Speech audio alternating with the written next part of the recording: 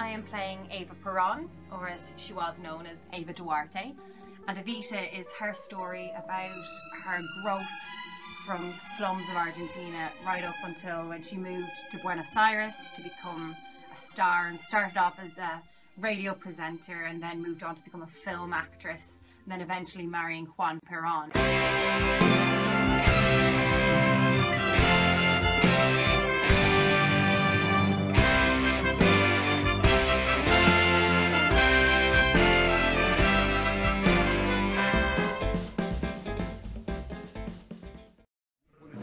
That's a must see.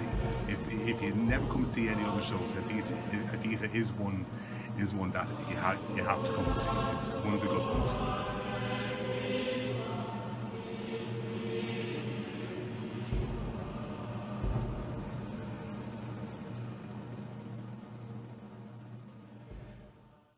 It's a different take on the Evita that everybody's used to.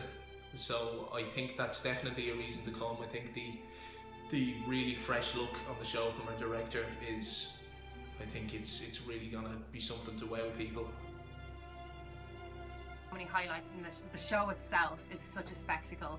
The music is just beautiful. Such a great show, and the music in it is phenomenal. The dancing is amazing, the costumes are fantastic, and the storyline is brilliant. Fantastic rock opera uh, with no dialogue to learn. It's all portrayed through the music and song. Um, very passionate and uh, evoking music. It's just it's a show that has everything. So You think it's strange when I try to explain.